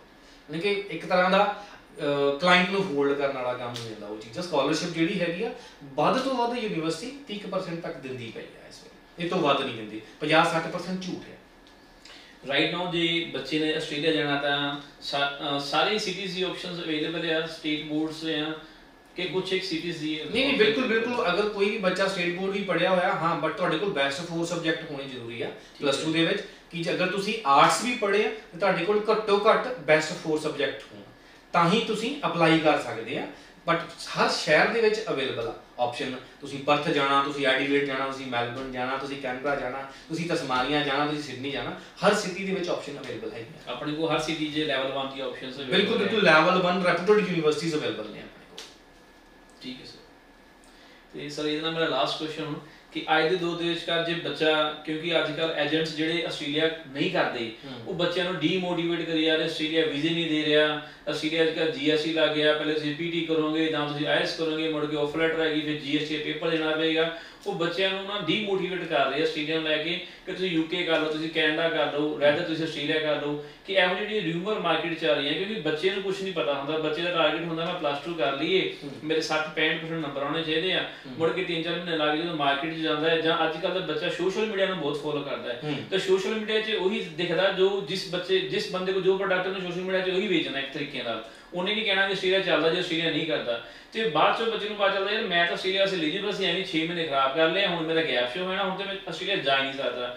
ਤੇ ਮੈਂ ਤੁਹਾਡੇ ਕੋਲ ਨਾ ਇੱਕ ਛੋਟੀ ਜਿਹੀ ਰਾਏ ਮੰਗਣਾ ਚਾਹੁੰਦਾ। ਇਹ ਲਾਸਟ ਕੁਐਸਚਨ ਹੋਏਗਾ ਤਾਂ ਕਿ ਤੁਸੀਂ ਬੱਚਿਆਂ ਨੂੰ ਗਾਈਡ ਕਰ ਦਿਓ ਕਿ ਜੇ ਬੱਚਾ ਐਲੀਜੀਬਲ ਹੈ ਰਾਈਟ ਨਾਓ ਜੀਐਸਟੀ ਨੂੰ ਲੈ ਕੇ ਖੱਜਲ ਨਾ ਹੋਵੇ ਖਵਾਰ ਨਾ ਹੋਵੇ ਰਾਈਟ ਨਾਓ ਜਿਹੜੇ ਆਫਰ ਲੈਟਰਸ ਆ ਰਹੀਆਂ ਉਹ ਜੀਐਸਟੀ ਦੇ ਬੇਸ ਤੇ ਨਹੀਂ ਆ ਰਹੀਆਂ ਜੀਟੀ ਪ੍ਰੋਸੈਸ ਚੱਲਦਾ ਪਿਆ, ਜਿਹਦੇ ਵਿੱਚ ਕਈ ਯੂਨੀਵਰਸਿਟੀ ਇੰਟਰਵਿਊ ਲੈ ਰਹੀਆਂ। ਤੇ ਇੰਟਰਵਿਊ ਇੰਟਰਵਿਊ ਸਾਨੂੰ ਪਹਿਲੇ ਦੱਸਿਆ ਕਿ ਤਿੰਨ ਤਰੀਕੇ ਨਾਲ ਇੰਟਰਵਿਊ ਲੈ ਰਹੀਆਂ। ਟੈਲੀਫੋਨਿਕ ਹੋ ਰਹੀਆਂ ਜਾਂ ਸੌਫਟਵੇਅਰ ਥਰੂ ਹੁੰਦੀ ਹੈ ਜਾਂ ਬੱਚਾ ਸਕਾਈਪ ਤੇ ਇੰਟਰਵਿਊ ਲੈ ਰਹੀਆਂ। ਜਸਟ ਇੰਟਰਵਿਊ ਜਿਸ ਬੱਚੇ ਨੇ ਮੈਨੂੰ ਲੱਗਦਾ ਵੀ ਆਈਸ ਕਰ ਲਈਏ ਜਾਂ ਪੀਟੀ ਕਰ ਲਈਏ ਉਹਦੇ ਵਾਸਤੇ ਕਿ ਇੰਟਰਵਿਊ ਦੇਣਾ ਬਹੁਤ ਵੱਡੀ ਗੱਲ ਨਹੀਂ, ਬੱਚਾ ਅਚੀਵ ਕਰ ਲਏਗਾ। ਸੋ ਇਹੋ ਜਿਹੇ ਬੱਚਿਆਂ ਨੂੰ ਪ੍ਰੋਪਰ ਗਾਈਡੈਂਸ ਦੇ ਦਿਓ ਤਾਂ ਕਿ ਜਿਹੜਾ ਬੱਚਿਆਂ ਦਾ ਖਾਬ ਹੈ, ਮੈਂ ਆਸਟ੍ਰੇਲੀਆ ਹੀ ਜਾਣਾ ਤਾਂ ਕਿ ਆਸਟ੍ਰੇਲੀਆ ਜਾ ਸਕਣ ਕਿ ਰਹਿਤ ਉਹਨਾਂ ਨੂੰ ਡੀਮੋਟੀਵੇਟ ਕਰਕੇ ਕੈਨੇਡਾ ਜਾਂ ਯੂਕੇ ਜਾਣਾ ਪੈ ਰਿਹਾ। ਦੇਖੋ ਜੀ ਫਸਟ ਆਫ ਆਲ ਬੱਚੇ ਦਾ ਨਾ ਇੱਕ ਜਦੋਂ ਕਦੀ ਵੀ ਉਹਨੇ ਸਟੂਡੈਂਟ ਵੀਜ਼ਾ ਅਪਲਾਈ ਕਰਨਾ ਹੁੰਦਾ ਨਾ ਉਹਨੇ ਪਹਿਲਾਂ ਹੀ ਮਨ ਚ ਧਾਰਿਆ ਹੁੰਦਾ ਕਿ ਮੈਂ ਕੈਨੇਡਾ ਜਾਣਾ ਜਾਂ ਆਸਟ੍ਰੇਲੀਆ ਜਾਣਾ। ਠੀਕ ਐਲੀਜੀਬਿਲਿਟੀ ਜਿਹੜਾ ਕ੍ਰਾਈਟੇਰੀਆ ਹੈਗਾ ਨਾ ਉਹ ਕੰਸਲਟੈਂਟ ਨੂੰ ਪਤਾ ਆ। ਜਿਹੜਾ ਕੰਸਲਟੈਂਟ ਨੇ ਲਾਈਕ ਆਸਟ੍ਰੇਲੀਆ ਕੋਈ ਸਟੱਡੀ ਵੀਜ਼ਾ ਕੀਤਾ ਹੀ ਨਹੀਂ ਉਹਨੇ ਆਸਟ੍ਰੇਲੀਆ ਨੂੰ ਮਾੜਾ ਹੀ ਕਹਿਣਾ ਕਿ ਨਹੀਂ ਜੀ ਵੀਜ਼ਾ ਨਹੀਂ ਆ ਰਿਹਾ ਯੂਨੀਵਰਸਿਟੀ ਐਡਮਿਸ਼ਨ ਨਹੀਂ ਦੇ ਰਹੀ ਜੀਐਸਟੀ ਆ ਗਿਆ ਉਹ ਆ ਗਿਆ ਉਹਨੇ ਕੋਈ ਨਾ ਕੋਈ ਨੈਗੇਟਿਵ ਪੁਆਇੰਟ ਲੱਭਣਾ ਹੀ ਲੱਭਣਾ ਹੈ ਆਸਟ੍ਰੇਲੀਆ ਸਟੱਡੀ ਵੀਜ਼ੇ ਦੇ ਵਿੱਚ। ਪੰਜਾਬੀ ਚ ਕਹਾਵਤ ਹੈ ਨਾ ਹੱਥ ਨਾ ਉਪੜੇ ਅੰਗੂਰ ਖੱਟੇ ਆ। ਠੀਕ ਹੈ ਨਾ? ਲਾਈਕ ਉਹ ਚੀਜ਼ ਆ।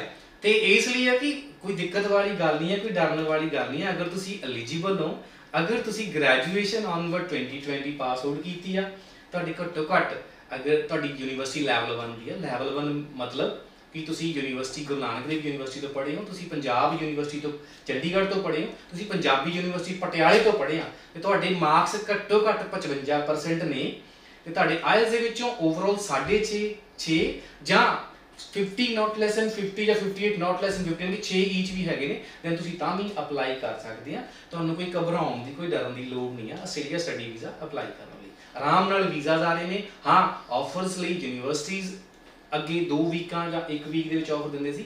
ਰਾਈਟ ਨਾਓ ਥੋੜਾ ਜਿਹਾ ਪ੍ਰੋਸੈਸਿੰਗ ਟਾਈਮ ਵਧਿਆ ਆ। ਕਿਉਂ ਵਧਿਆ? ਉਹ ਸਾਡੇ ਲਈ ਹੀ ਵਧਿਆ, ਤਾਂ ਕਿ ਸਾਡੇ ਪੈਸੇ ਦਾ ਨੁਕਸਾਨ ਨਾ ਹੋਵੇ। ਸਮਾਂ ਜ਼ਰੂਰ ਵੱਧ ਲੱਗ ਰਿਹਾ ਬਟ ਯੂਨੀਵਰਸਿਟੀਜ਼ ਪਹਿਲਾਂ ਹੀ ਹਰ ਚੀਜ਼ ਕੋਈ ਵੀ ਅਕੈਡਮਿਕ ਡਾਕੂਮੈਂਟ ਉਹਨੂੰ ਵੈਰੀਫਾਈ ਕਰਦੀ ਪਈ ਆ, ਤਾਂ ਹੀ ਤੁਹਾਨੂੰ ਅਗਰ ਉਹਨੂੰ ਕੋਈ ਡਾਊਟ ਲੱਗਦਾ ਪਿਆ ਆ ਉਹ ਤੁਹਾਡੇ ਤੋਂ ਅਗਰ ਪਲੱਸ 2 ਦਾ ਬੱਚਾ ਹੈ ਵਿਦਆਊਟ ਐਡਮਿਟ ਸੀਬੀਐਸਈ ਆ, ਤੇ ਵਿਦਆਊਟ ਐਡਮਿਟ ਕਾਰਡ ਵੈਰੀਫਾਈ ਨਹੀਂ ਹੁੰਦਾ। ਤੇ ਇਸ ਲਈ ਅਗਰ ਤੁਸੀਂ ਐਡਮਿਟ ਕਾਰਡ ਨਹੀਂ ਭੇਜਿਆ ਦੈਨ ਉਹ ਤੁਹਾਡੇ ਤੋਂ ਐਡਮਿਟ ਕਾਰਡ ਰਿਕੁਐਸਟ ਕਰਦੀ ਹੈ ਕਿ ਉਹ ਰਿਜ਼ਲਟ ਵੈਰੀਫਾਈ ਕਰਨਾ ਚਾਹੁੰਦੇ ਨੇ। ਇਸ ਲਈ ਉਹਨਾਂ ਦਾ ਮੋਟਿਵ ਇਹ ਆ ਕਿ ਤੁਹਾਡਾ ਨੁਕਸਾਨ ਨਾ ਹੋਵੇ। ਜਿਹੜੀ ਜੇ ਉਹ ਸਟ੍ਰਿਕਟ ਹੋਏ ਨੇ ਐਡਮਿਸ਼ਨਸ ਨੂੰ ਲੈ ਕੇ ਜਾਂ ਆਫਰਸ ਨੂੰ ਲੈ ਕੇ, ਉਹ ਸਿਰਫ ਤੁਹਾਡੇ ਭਲੇ ਲਈ ਹੋਈ, ਤੁਹਾਡੀ ਮਾੜੇ ਲਈ ਨਹੀਂ ਹੋਈ। ਠੀਕ ਹੈ ਕਹਿੰਦਾ ਮਤਲਬ ਜੀ ਯੂਨੀਵਰਸਿਟੀ ਸਟ੍ਰਿਕਟ ਹੋਈਆਂ ਉਹ ਸਿਰਫ ਐਲੀਜੀਬਲ ਬੱਚਿਆਂ ਨੂੰ ਕੋਈ ਡਰਨ ਵਾਲੀ ਗੱਲ ਨਹੀਂ ਜੇ ਬੱਚਾ ਐਲੀਜੀਬਲ ਹੈ ਉਹਦੇ ਬੈਸਟ ਫੋਰ 65% ਹੈਗੇ ਆ ਉਹ ਇੰਗਲਿਸ਼ ਕ੍ਰਾਈਟੇਰੀਆ ਮੀਟ ਕਰਦਾ ਪਿਆ ਹੈ ਤੇ ਬੱਚਾ ਐਲੀਜੀਬਲ ਨੂੰ ਕੋਈ ਬਣਾਉਣ ਵਾਲੀ ਗੱਲ ਨਹੀਂ ਉਹ ਹਰੇਕ ਲੈਵਲ 1 ਯੂਨੀਵਰਸਿਟੀ ਅਪਲਾਈ ਕਰ ਸਕਦਾ। ਆਰਾਮ ਨਾਲ ਜੋ ਅੱਜ ਦਾ ਸਕਸੈਸ ਰੇਟ ਆ ਉਹ 95% 97% ਚੱਲਦਾ। ਬਸ ਥੋੜਾ ਸਬਰ ਕਰਕੇ ਸਬਰ ਥੋੜਾ ਜਿਹਾ ਸਬਰ ਨਾਲ। ਜਲਦਬਾਜ਼ੀ ਨਹੀਂ ਜਲਦਬਾਜ਼ੀ ਨਹੀਂ ਕਿ ਹਾਂ ਜੀ ਕਿ ਉਹ ਏਜ ਕੰਸਲਟੈਂਟ ਦਾ ਮੈਨੂੰ ਕਹਿੰਦਾ ਸੀ ਮੈਂ ਤੇਰੀ ਹੁਣ ਐਮਬੈਸੀ 'ਚ ਫਾਈਲ ਲਾ ਦੇਣੀ ਸੀ। ਬਟ ਉਹ ਇਹ ਨਹੀਂ ਦੱਸਦਾ, ਮੈਂ ਹੁਣ ਤੇਰੀ ਰਿਵਿਊਜ਼ ਵੀ ਕਰਵਾ ਦੇਣੀ ਸੀ। ਠੀਕ ਹੈ ਨਾ? ਇਸ ਲਈ ਕਿ ਕਾਲਜ ਮੈਂ ਨਹੀਂ ਕਹਿੰਦਾ ਕਿ ਕਾਲਜ ਵੀਜ਼ਾ ਨਹੀਂ ਆਉਂਦਾ, ਮੈਂ ਬਾਰ-ਬਾਰ ਕਹਿੰਦਾ ਕਾਲਜਸ ਦੇ ਵਿੱਚ ਵੀ ਵੀਜ਼ਾ ਆਂਦਾ ਆ ਬਟ ਸਕਸੈਸ ਰੇਟ 30% 40% ਹੁੰਦਾ।